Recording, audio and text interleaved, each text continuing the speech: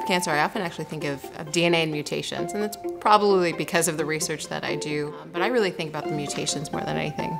Cancer is going to be a change in DNA. That is how it gets transmitted from one cell to another. So every time, it is always a change in DNA. DNA is really at its heart. So when things go wrong in DNA and cancer develops, a lot of people, when they develop therapeutics, if they're targeting DNA, they're just globally targeting to damage DNA in the hope that a cancer cell dies. You can find a target that will apply to, to most cancers. The ones that we look at in particular are two genes called MYC and called KRAS.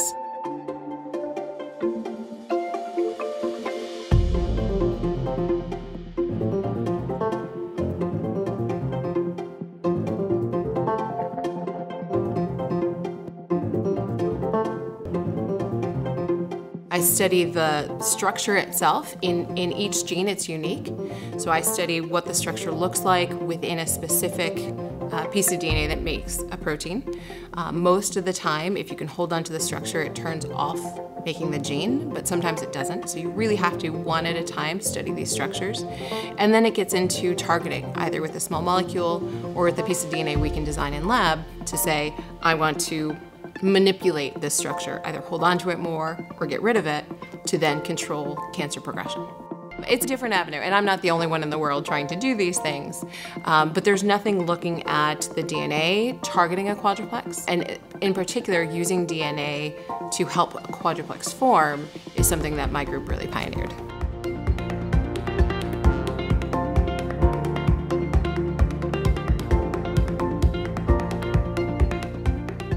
So when you have a piece of DNA that's really linear, right, it's, it's long, and there's a region that can form a quadruplex.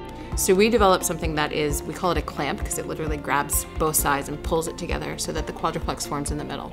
And I've started collaborating with um, other professors here at the university, and we're taking this therapeutic and, and advancing it even further.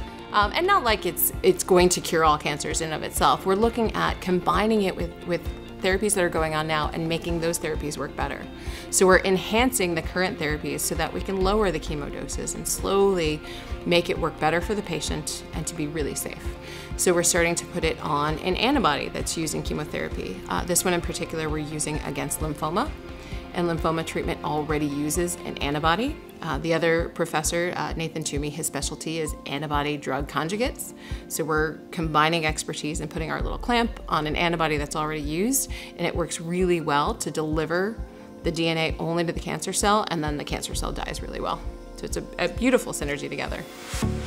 I am Tracy Brooks, Mentor Family Endowed Faculty Fellow, Associate Professor and Chair of the Department of Pharmaceutical Sciences at Binghamton University.